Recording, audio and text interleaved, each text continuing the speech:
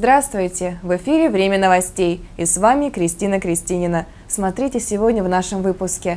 День открытия дачи музея Владимира Маяковского.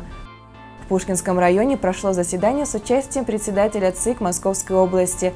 Совет директоров Пушкинского муниципального района обсудил вопрос благоустройства беженцев из Украины. Ансамбль «Радость» представит Пушкинский район в номинации «Связь времен». Лето, солнце, пляж – Самое время отправиться на поиски приключений по воде вместе с яхт-клубом «Навигатор». Дача Владимира Маяковского наконец восстановлена. Это произошло прямо ко дню рождения поэта 19 июля. День открытия дачи музея знаменовали Маяковским фестивалем, что представит собой еще одну новую традицию в городе. Подробнее в репортаже Алексея Суходольского.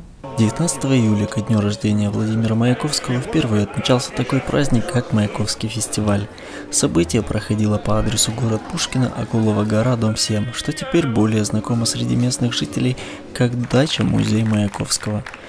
Еще в прошлом году стройка была заморожена и ходили разговоры о том, что памятник так и останется невосстановленным, но сегодня дом дача Маяковского открыт и принимает гостей. Вообще это здорово, очень радостно, что у нас не то что в Пушкино, а именно на нашей западной стороне появилась такая маленькая чужая вообще культуры, потому что здесь всю свою сознательную жизнь, насколько я помню, здесь был просто спуск с такой, да, какая-то гора травяная. В лучшем случае сюда приходили песни попеть и попить чаю, иногда не только. А теперь вот так вот. Здорово. Само мероприятие концептуально сделано. Да, очень здорово, все, все выдержано в том духе. Вон уже где-то хулиганы с пионерами дрались тут. Да. Атмосфера того времени кому-то казалась свободной, а кому-то отдавала ностальгии по юности времени пионеров и партий. Плакаты, песни, все было сделано так, что оставив калитку за плечами, ты попадал в другой мир, за что отдельное спасибо организаторам. Одним из таких организаторов данного мероприятия является отец Андрей, настоятель храма великомученика и целителя Пантелеймона в Пушкина. Грузинским языком любил говорить по-грузински и вообще любил свою малую родину Багдади, которая отсюда, вот от этого места, мы там на столбе изобразили 1907 э, километров. Праздник начался в полдень, а закончился поздним вечером. Но что осталось незабываемым, так это песни гостей из Грузии, специально приехавших на мероприятие, чтобы вспомнить о хорошем человеке, который сам отлично разговаривал на грузинском и любил этот язык не меньше русского.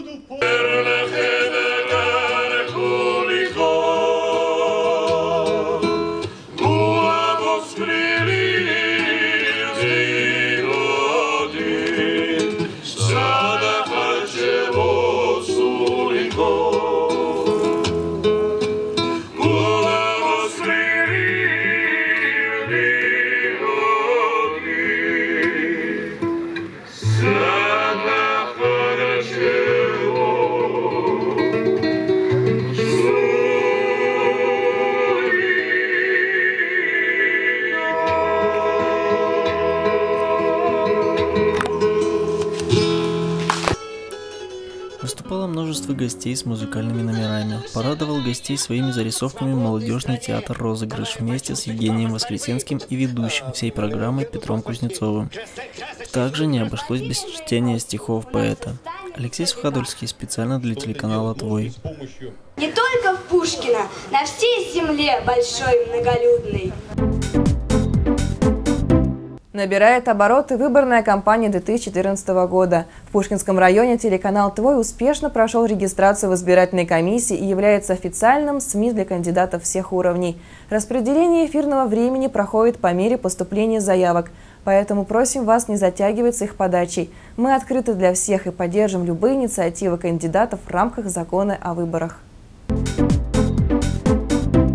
Пушкинском районе прошло заседание с участием председателя ЦИК Московской области. Был рассмотрен ряд процедурных вопросов и возможности изменения в правилах проведения работы комиссий. Все ближе единый день голосования, 14 сентября. С проверкой готовности региональных комиссий в Пушкинский район прибыла делегация областной избирательной комиссии во главе с ее председателем, который удостоил добрыми словами местный ЦИК. Хотел бы отметить, что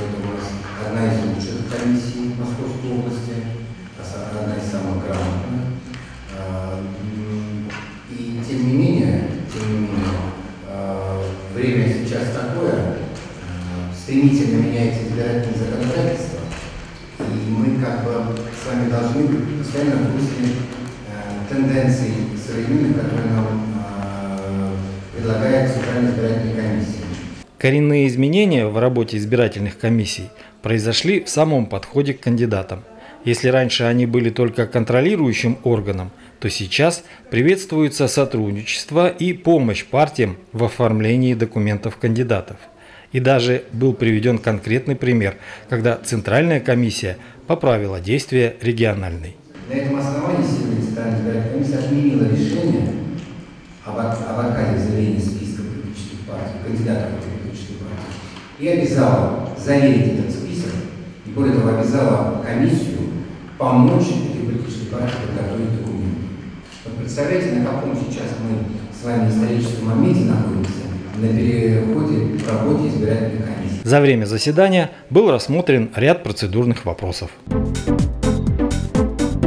На расширенном заседании Совета директоров Пушкинского муниципального района основным вопросом стало рассмотрение мероприятий по приему и устройству беженцев из Украины. Сколько их у нас и как они размещены, доложил исполняющий обязанности руководителя администрации города Пушкина Дмитрий Пустовой. Расширенное заседание Совета директоров Пушкинского муниципального района – довольно непривычное собрание для несведущего жителя – Проще говоря, все директора значительных предприятий района собираются с органами власти и обсуждают насущные проблемы. У Совета директоров есть свой председатель Петр Александрович Левин. Он и открыл заседание. Присутствует 130 человек у нас. Э, есть предложение открыть. Повестка всех роздана. Нет других предложений. Голосовать не будем. Значит, э, у нас сегодня внеочередное, оно связано вы знаете, с какими э, грустными событиями, которые происходят на Украине, и в результате Э, какое огромное количество беженцев есть в России. Но поскольку все равно жизнь идет, э, Маргарита Семеновна сейчас откроет и э, немножко расскажет нам о ситуации в районе, для того, чтобы мы знали. А потом перейдем уже к вопросам, которые связаны с оказанием помощи. Маргарита Семеновна разделила свое выступление на две части – о хорошем и плохом. Из хороших вестей – повышение заработной платы в различных отраслях до 18%, около 37 тысяч рублей в среднем среднем. Что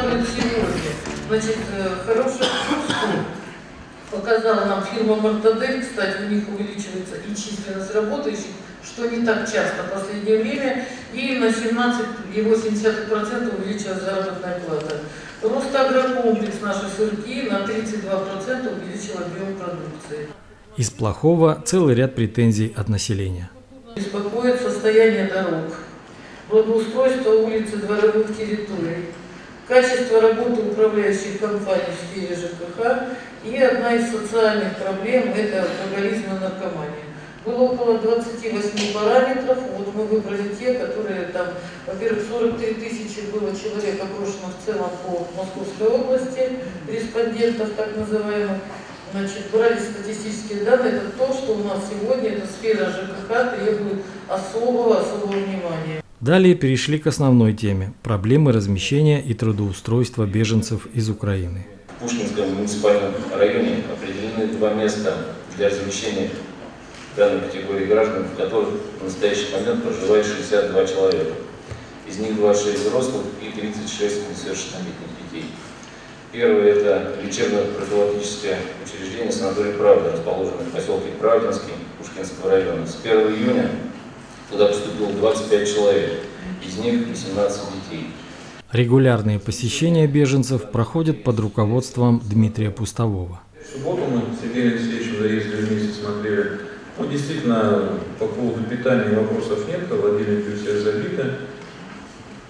Более такие серьезные вопросы нам задавали. Это, в первую очередь, оформление статуса беженца, потому что большинство этих граждан вернее, большинство этих людей хотят стать гражданами России. В конечном итоге Федеральная миграционная служба уже дважды приезжала э, в Клязину гостиницу, проводили беседы с беженцами. Второй проблемой является трудоустройство. И не только наличие рабочих мест, а оформление согласно КЗОТу, который в России никто не отменял. Еженедельное проживание беженцев обходится примерно в 130-140 тысяч рублей. Гостиница нам выставляет счета, естественно, со всеми скидками. Я хочу сказать большое спасибо руководителю частной гостиницы, который максимальные скидки нам делает. И в любом случае сумма вот такая набегает. Вот. Ну и по эти счета мы предлагаем оплатить предпринимателям, естественно, в добровольном порядке, естественно, это дело каждого, никто здесь никого принуждать не собирается. Вот. И что меня радует, те люди, которые эти счета как бы оплачивают, они просят, чтобы как бы не афишировать их добрые дела. Все острые переживания человека связаны с движением. И особенно вредно, когда ребенок получает выбросы адреналина, сидя за экраном компьютера. Приходите всей семьей в парк аттракционов.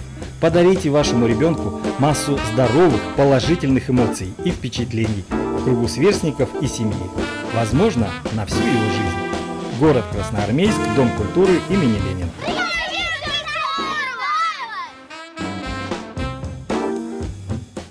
Готов разогнаться до скоростей интернета от Дива? Лететь без остановки. Всегда быть на связи. С круглосуточной технической поддержкой. Сверхскоростной интернет и цифровое телевидение. Кем бы ты ни был, ты достоин лучшего. Дива. Быстрее всех. Подключение по звонку. Ищите товары и услуги? Зайдите на сайт plan1.ru. Полный интернет-каталог предприятий Москвы и Подмосковья в вашем компьютере и телефоне. plan1.ru. Все адреса, все телефоны, все сайты –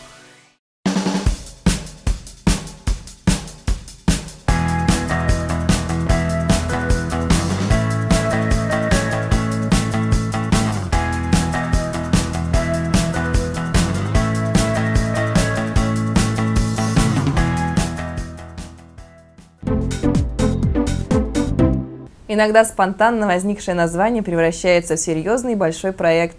Это случилось и с хоровым ансамблем «Радость» Пушкинской детской музыкальной школы. Сегодня его знают и в России, и за рубежом. Ансамбль участвовал во многих конкурсах разного уровня и сегодня стал еще одним претендентом на губернаторскую премию «Наше Подмосковье».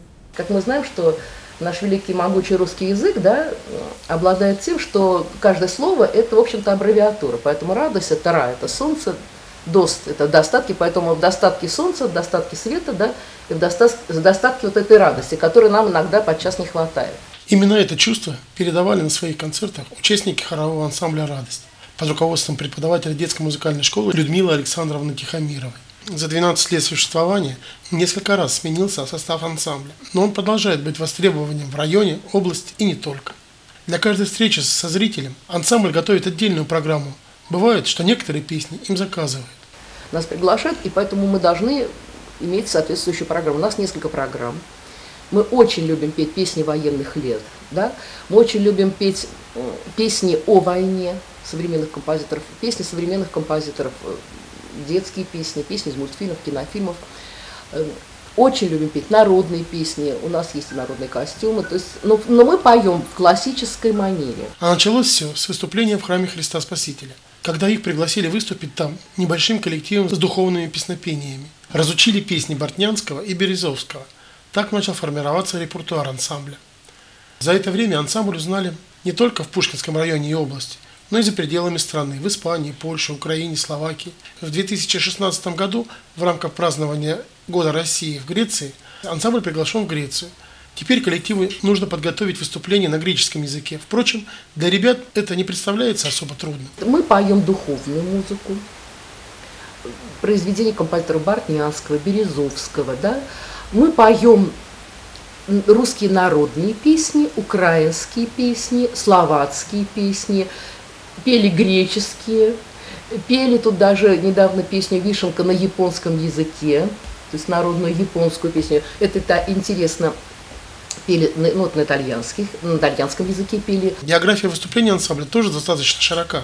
Это помимо района и области выступления в Кремлевском дворце, съездов, в Московском малом театре, концертном зале Чайковского, в посольствах Италии, Украины, а также организация культуры стран Польши и Испании. Мы начали нашу такую вот э, творческую карьеру за рубежом, если так можно выразиться.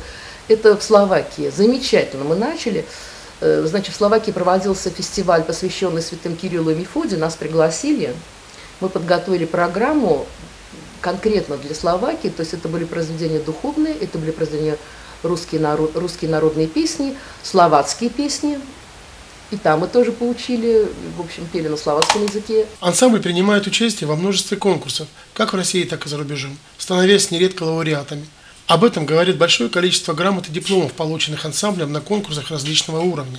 Нередко ансамбль встречается с людьми, известными как в России, так и в мире. Причем не просто встречается, а вместе исполняют некоторые песни. Людмила Александровна, вы не хотите вот спеть с Альбана? Я говорю, хотим. А вот надо на итальянском языке, значит, спеть песню. Причем там интересно, вот на стихи Берлускони, я говорю, хотим. И вот у нас так вот, понимаете, это приходил человек и с нами занимался, и мы пели действительно в итальянском посольстве, мы действительно пели с Альбану. Ну, подпевали, скажем. Конечно, пел он, мы, открывшие рот, слушали великолепного певца. 12 лет коллектив радует своим талантом всех пришедших на концерт. Пришло время заявить о себе и на конкурсе «Наше Подмосковье», считает Людмила Александровна. Ансамбль примет участие в номинации «Связь времен», так как его репертуаре тесно переплелись народное, духовное, современное и классическое искусство. Надоели пробки? Очень душно в электричках, но нет своего вертолета? Как насчет того, чтобы добираться на работу по воде? Яхт-клуб «Навигатор» предлагает не просто отдохнуть летом, но и научиться управлять настоящим судном. На дворе лето, а Таня и Настя так и не побывали еще на море, а ведь солнце, пляж, пираты, все это так заманчиво, особенно в теплый сезон года. Что же делать, если кататься на велосипеде уже надоело, а карибские пираты еще не подплыли, чтобы захватить всех красавиц в городе и отвезти их к сокровищам? Есть выход. Нужно самим позаимствовать брик и отправиться к пиратам навстречу. К тому же сделать это совсем просто. Поэтому девушки скоро появились близ города Пирогово, в яхт-клубе «Навигатор». Теперь осталось самое простое – угнать брик. Но вот не задача, как им управлять. Выходит, для того, чтобы встретиться с пиратами, нужно набрать свою команду. Для начала нужен кто-то опытный, кто умеет управлять кораблем. И на удачу девушек им встретился инструктор Владимир Григорьев. Наш клуб э, занимается подготовкой рулевых, парусных и яхтенных капитанов. Рулевых мы готовим здесь, на акватории Пироговского водохранилища. Курс включает 10 занятий, после которых необходимо сдать экзамен – После успешной сдачи получаешь свидетельство рулевого. Это первый шаг, который позволяет уверенно управлять лодкой, ну, в общем-то и не более. То есть дальнейшее обучение проходит уже э, на море, там квалифицированные инструкторы преподают дальнейшую практику, навигацию, лоцию, метеорологию. И по окончании курса опять же экзамен и диплом капитана. И вперед к новым открытиям. И вот девушки уже далеко от берега, но пиратов почему-то не видно. Ведь и правда, отправляясь навстречу приключениям, никогда не знаешь, где их встретишь. Поэтому лучше для начала брать у пиратов телефон, а в дорогу что-нибудь перекусить. Иначе вам, как сегодня Таня и Настя, придется вернуться обратно, так и не дождавшись возлюбленных разбойников. Алексей Суходольский, специально для телеканала «Твой».